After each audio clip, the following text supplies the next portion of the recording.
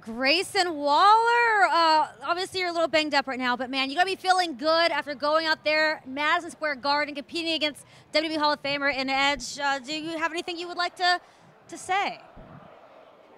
I guess you could say this is a pretty crazy week for Grayson Waller. A week ago, I have global megastar Logan Paul on my show.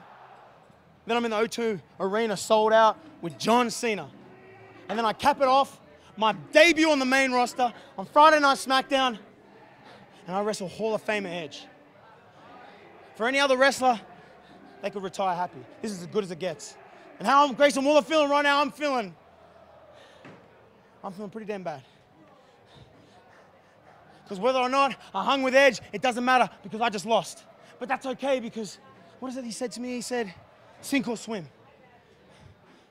Well, I'm pretty damn sure Grayson Waller just swam, and this is just the beginning.